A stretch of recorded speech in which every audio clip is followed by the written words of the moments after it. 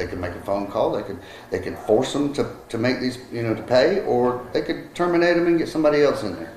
First at 6, a local subcontractor says they're out hundreds of thousands of dollars. They claim a contractor hired by Horry County has not fulfilled their promise. Thanks for joining us at 6. I'm Trish Williford. And I'm Edward Moody. Today, News 13's Jackie Labrizzi spoke with the company's president who recently filed a lawsuit.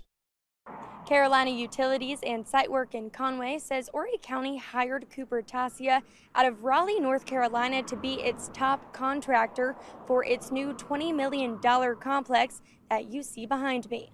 The new Central Coast Complex building is in Carolina Forest and will be 43,000 square feet, holding a county police precinct, administration offices, and a magistrate court. Vice President of Carolina Utilities and Site Work, Lance Tyler, says they're one of several subcontractors who were hired by Cooper Tasia and are now out almost $400,000. We pay county taxes.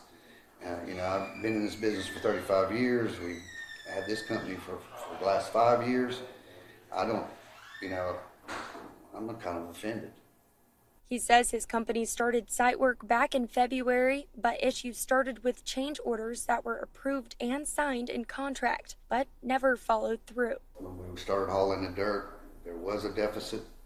It was clearly not enough dirt. We hauled in the correct amount of dirt, somewhere almost $90,000 worth of dirt and they have just refused to pay it with excuse after excuse after excuse. The company gave News 13 invoice reports showing they haven't been paid by general contractor Cooper Tasia in more than three months. And president of Carolina Utilities and Site Work, Brandon Lawrence, says the worst part is the county has been aware of it, yet their pockets are still empty. We reached out to Horry County via email. Also, um, we've sent several demand letters to the county and to Cooper Tasia asking for meetings, and we've been totally rejected. News 13 asked the county why they're allowing Cooper Tasia to continue their work on its new Central Coast Complex building. Horry County spokesperson says it's within the authority of the primary contractor to utilize subcontractors who work directly for the contractor, and the county is not involved in this process.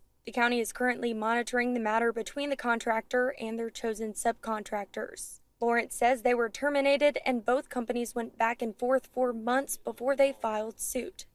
Later tonight, you can read the whole response from the county on our website at WBTW.com. I also reached out to Cooper Tasia for a comment and was sent to voicemail. Reporting Carolina Forest, Jackie Labrizzi, News 13.